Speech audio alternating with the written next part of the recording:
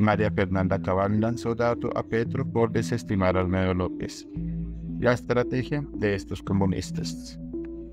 La senadora del Centro Democrático dijo que así el presidente desmienta la versión del exfuncionario de la UNGD Colombia, ya no le cree. En la noche del martes 16 de junio, el exdirector de la Unidad Nacional para la Gestión del Riesgo de Desastres, UNGD, Olmedo López asistió a la declaración fundamentada ante la Corte Suprema de Justicia, donde realizó graves acusaciones contra el gobierno de Gustavo Petro por el caso de corrupción que destapó el funcionario de la entidad, Sneider Pinilla.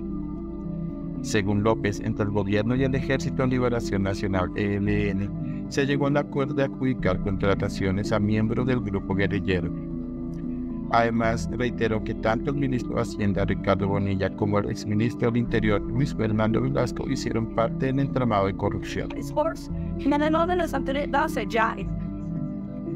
Entregas de contratos dirigidos de cambio de lograr el propósito de la comisión, que el ministro saque adelante su proyecto de ley o tema de interés que corresponda a su cartera.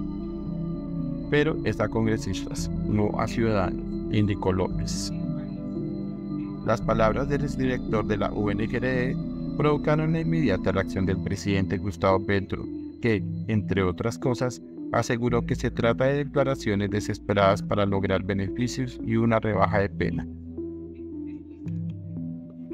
La respuesta del primer mandatario hizo eco en el sector de la oposición, especialmente en la senadora del Centro Democrático María Fernanda Cabal, que aseguró que hacerse las víctimas hace parte de la estrategia del comunismo para salir bien librados de los hechos de corrupción.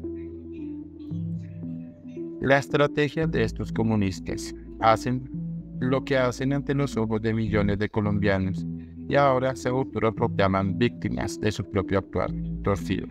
Colombia no les cree.